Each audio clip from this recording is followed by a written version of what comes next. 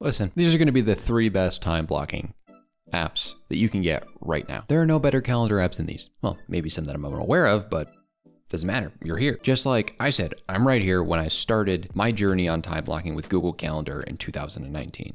It has been a wonderful ride. I've tried many apps. I've reviewed way too many apps to count. I've done way too many tutorials, but first and foremost, Google Calendar is simple, it is effective. For me, what I really like about Google Calendar is that I can set up multiple calendars within it, as you can see, and have my entire life pretty much mapped out from the beginning to the end of the day. Now I do have these gaps during work so that I just know that like, all right, this is when I'm doing work, but it would be nice to like mention to myself, hey, maybe I could uh, do the laundry or something to that effect.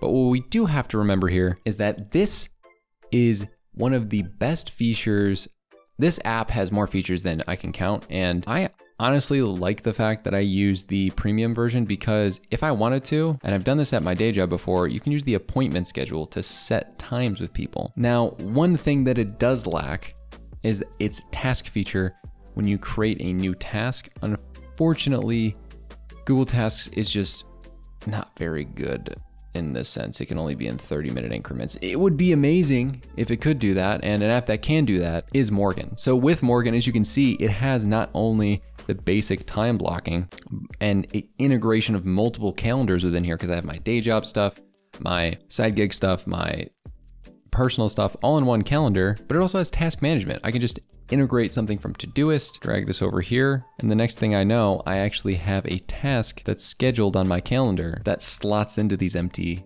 time blocking situations.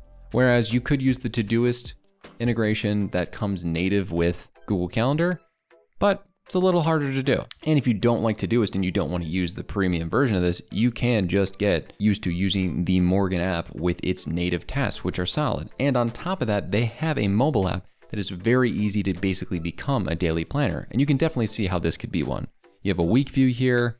You have the option to add all of your different views over here. So we have day right now as an option, month, week, agenda. It's really all in what you want, but this is essentially a daily planner that can time block and has a scheduling link associated to it. So this is actually how I book a lot of my meetings. You see seven booked here means this is how many quick syncs I have booked. It's also how I schedule with like my guests, for the podcast. Then you can make one off links for people to go here, one time link, schedule a time with me. Then I can save and copy this link out to somebody for them to book a time with me. As you can see right here, this example pops up and I could pick this time with myself. It's a weird thing to say out loud. The pricing on this guy is free for one recurring scheduling link, unlimited one time links. It has the tasks built in for free. You do not need to pay for this app and you can get integrations and multiple calendar accounts for $4 a month. Or you could try out Cron, which is another great application that actually was purchased by Notion a couple, actually more than a couple months ago at this point.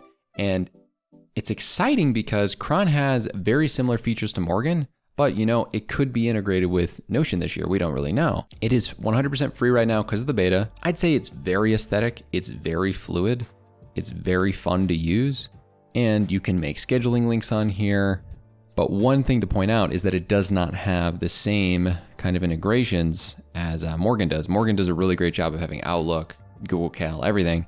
This one really is just a Google Cal uh, aesthetic changer with like booking links associated to it. But it's got a nice mobile app, looks very, very nice, has pretty nice keyboard shortcuts, and overall, I would recommend it to anybody who's looking for a new calendar app. I don't think there's any reason not to check this one out. Just like I don't think that there is any reason that you shouldn't check out this video on how to improve your productivity even more.